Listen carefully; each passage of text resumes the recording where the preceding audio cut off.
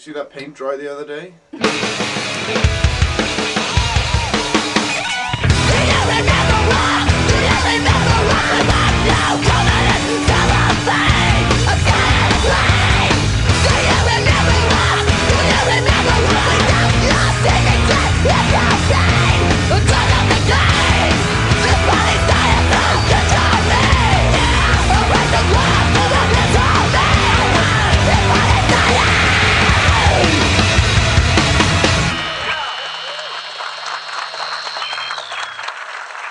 I think they should pay for the funeral, compensate the parents, and hang their heads in fucking shame.